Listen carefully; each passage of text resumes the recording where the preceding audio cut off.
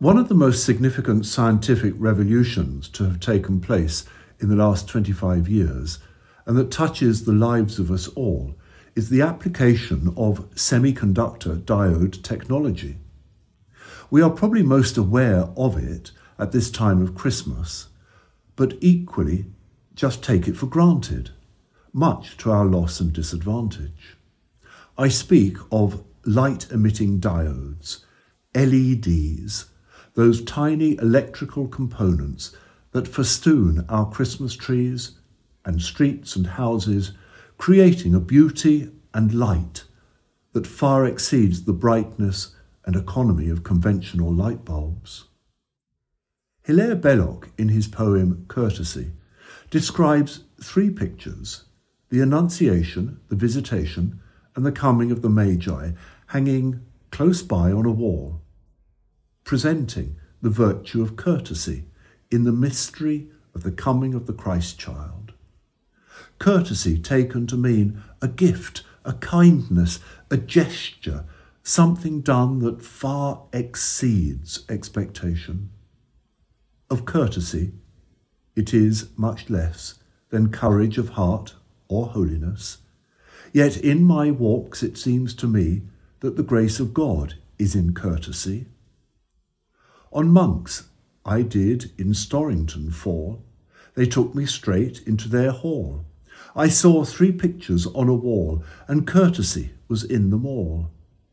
The first, the Annunciation, the second, the Visitation, the third, the Consolation of God that was Our Lady's Son. The first was of Gabriel. On wings of flame from heaven he fell and as he went upon one knee, he shone with heavenly courtesy. Our Lady of Nazareth rode, it was her month of heavy load. Yet was her face both great and kind, for courtesy was in her mind. The third, it was our little Lord, whom all the kings in arms adored. He was so small you could not see the large intent of courtesy. Our Lord, that was Our Lady's Son. God bless you, people, one by one. My rhyme is written, my work is done.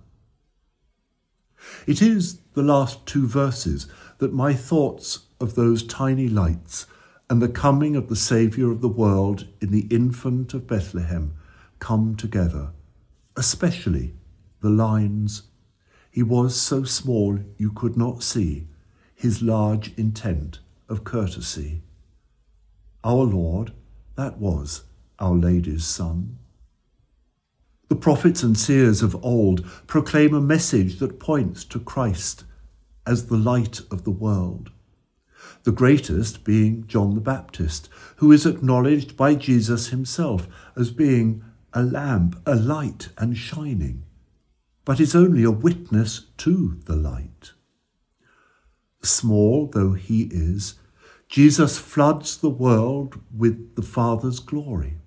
Angels sing his praise, shepherds come in adoration, the nations bow down in homage. For this tiny child, the light of the world, is the child born as Isaiah prophesied, the one called Wonderful Counselor, Mighty God, Everlasting Father, Prince of Peace, and whom Simeon recognized as a light for revelation to the Gentiles and for glory to your people Israel. As we look upon each of those tiny lights this Christmas, May they remind us of the tiny child and the immeasurable intent of courtesy, the gracious gift of God for all people that dispels the darkness of this world's deeds and gives us the hope to live our lives in the radiant love of God. Our Lord, that was Our Lady's Son. Go bless you, people one by one.